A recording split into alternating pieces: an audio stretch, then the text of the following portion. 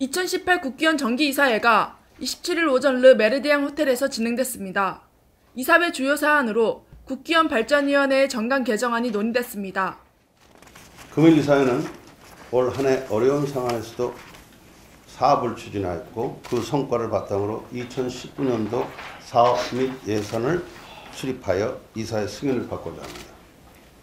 또한 이사님들의 정권 개정안을 검토하여 국기원이 나가야 할 방향에 대해 제시하여 주시기를 바랍니다. 그 외에 명소화 사업 추진단 연장의 건도 상정하였으니 이사님들의 고견을 제시해 주시고 원활한 회의 진행을 위해 협조해 주시기를 바랍니다. 또한 이번 이사회 핵심 내용이었던 국기원장 선거 규정도 최종 의결되었습니다. 이사장은 어, 원한대 저기 원래대로 이사에 선출하고 원장은 별도 어, 선거규를 선, 어, 구성을 하기로 오늘 수정 의결을 했습니다. 그래서 선거인 어, 별도로 대의원 형태의 어, 선거인단은 50인으로 구성을 했고 원장 선출에 관한 규정은 50인 이내의 원장 선출위원회를 구성하기로 했습니다. 하지만 이 선출위원회는 선출 권한이 전혀 없으며 구단 이상자와 사회적 인사를 이사회에 추천하는 역할이 전부입니다. 최종 선출은 이전처럼 이사회에서 하겠다고 해 결국 이전과 크게 다르지 않습니다. 국기원 적폐 사태에 도의적 책임이 있는 이사진 총사퇴 여부는 이날 자녀 인계를 보장하는 내용이 담긴 것으로 알려지면서 논란이 될 전망입니다.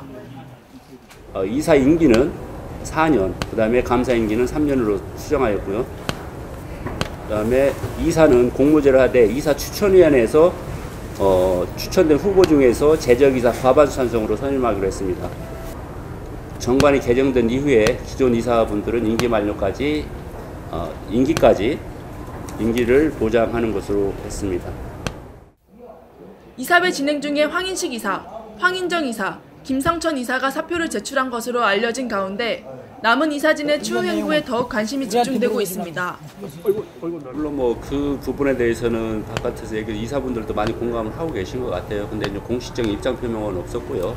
거기에 따라서 여러 가지 논의는 있었습니다. 그래서 여러 가지 책임을 공감을 하고 있고 그렇다고 해서 지금 오히려 지금 바로 사표를 내는 것도 무책임하다라는 부분들에 있어서 의견을 공감을 했고 뭔가 어, 표명을 하시더라도 뭔가 정상화를 시켜놓고 표명하는 게 책임 있는 행동이다 이렇게 좀 의견들이 모아졌습니다. 한편 국기원장과 관련된 사상 초유의 국기원 사태에도 불구하고 남은 이사의 임기를 지키는 것이 조직 안정화에 얼마나 도움이 될지 그리고 어떤 의미로 받아들여질 수 있을지 여러 이목이 모아지고 있습니다. 지금까지 무카스 뉴스 김수정입니다.